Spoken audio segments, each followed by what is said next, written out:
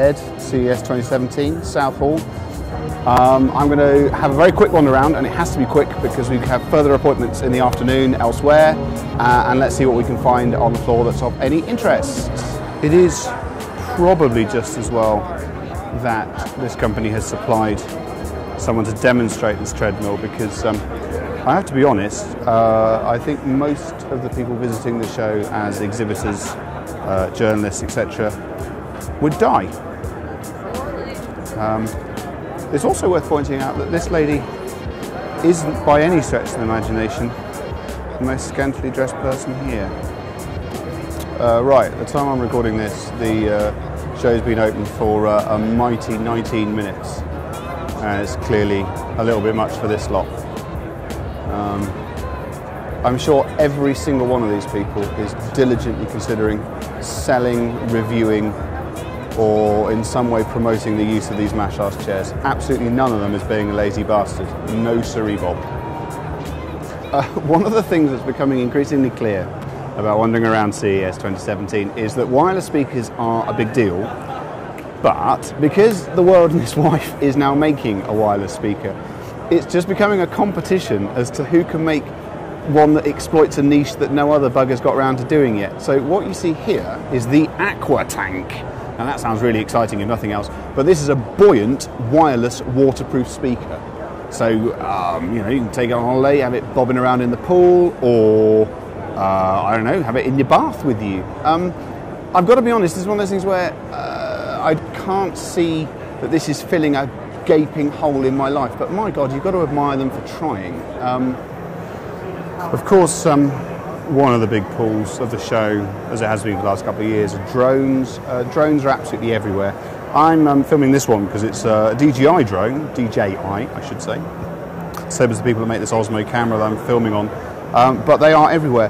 What is um, quite telling is that uh, when I was at IFA a couple of years ago, the big deal was um, having lots of drones inside these sort of cages uh, doing all sorts of clever displays. And it looked really impressive, but every sort of fourth or fifth demonstration, they, one of them would suddenly develop a mind of its own and fly into all the others. And it was absolutely spectacular, but I don't believe in the way that the manufacturers of the drones were hoping for. So, very much uh, part of uh, CES 2017 is that uh, each drone is generally uh, on its top this year rather than um, part of a team.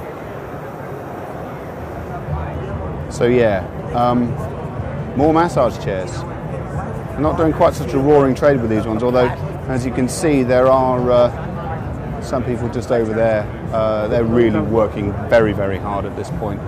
Um, drones and massage chairs. Forget audio. That's um, that's where we need to be. I'm afraid. Um, apparently, shocked and saddened to report that um, Tony Stark has fallen on hard times because. Uh, I'm here on the Mar- Marvel, sorry, themed uh, section of uh, a particular manufacturer's stand, and uh, it would appear that uh, his uh, weapon of choice these days is the mm, magnificent Renault Twizy. Uh, I'm not 100% sure, I don't know about anyone else, that someone in a full suit of armour who can fly is necessarily going to need one of these, but um, on the other side, I suppose this is one of the uh, cleaner and greener vehicles that I've uh, seen since I set foot in Nevada, so uh, there is that. Uh, right, I don't know quite how this is going to come out uh, on the actual thing itself. This device is uh, printing or engraving, I don't know which is a technically more accurate description, onto wood. And what is coming off it is absolutely outstanding. Um, I know this is not strictly within the remit of AV forums, but bloody hell, that's really cool.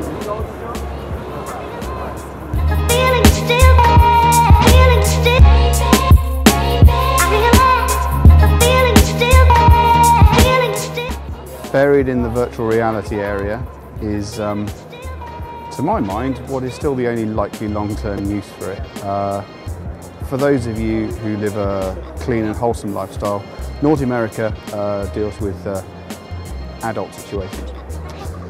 And um, I would go in, but I'm pretty sure that uh, there's a camera around here somewhere.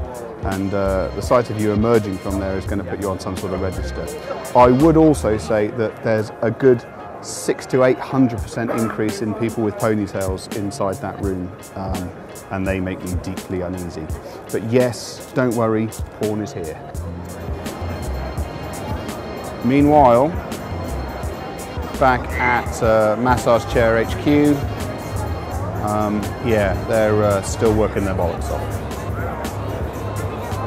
Right then, um, we all know that uh, Withers lives in uh, the mid 18th century down in, uh, in the West Country.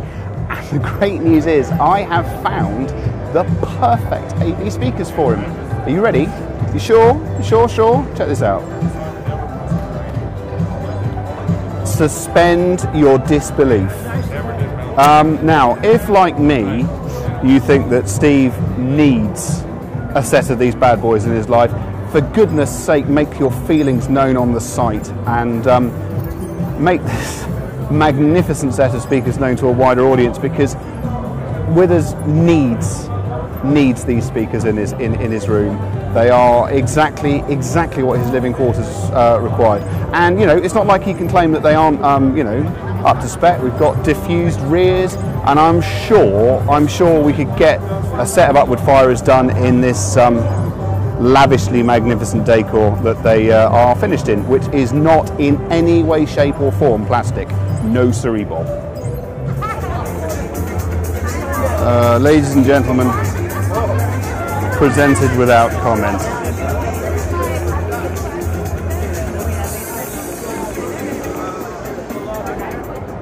Okay, if you don't think that's quite cool, we can't be friends anymore truck simulator in an actual truck. Uh, I struggled to find house room for it, but uh, I'm not going to say I wouldn't quite like one. Now this is this is actually quite interesting. Um, I don't do the television stuff, as you know. That's uh, it's far too complicated for me, and I like record players. But I'm not blind, no pun intended, to this uh, brightness war, talking about lumens and nits.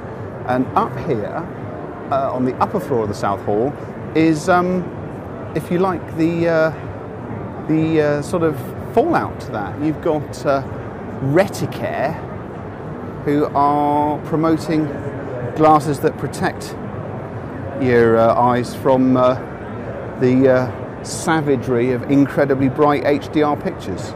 Um, you know, I'm a bit route one on this. I can't help but think it might be easier just to um, not watch the HDR pictures. But it's this, um, yeah, it gets you thinking, doesn't it? Um, you know, you're all, all pushing for uh, 2,000 nits and the ability to burn your shadow onto the wall, and uh, yeah, just think about what that's doing to your eyes.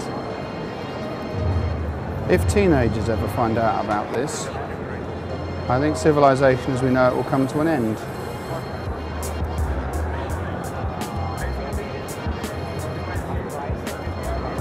Meanwhile, massage chair update. Uh, lots of committed buyers still in situ. Tough job. Right then, well that was uh, my brief but illuminating visit to the South Hall. I'm heading back to the Venetian now, where I've got to do, actually do more things pertaining to hi-fi and you know, why I'm actually here and things like that. But uh, I hope you found some parts of it uh, at least mildly interesting.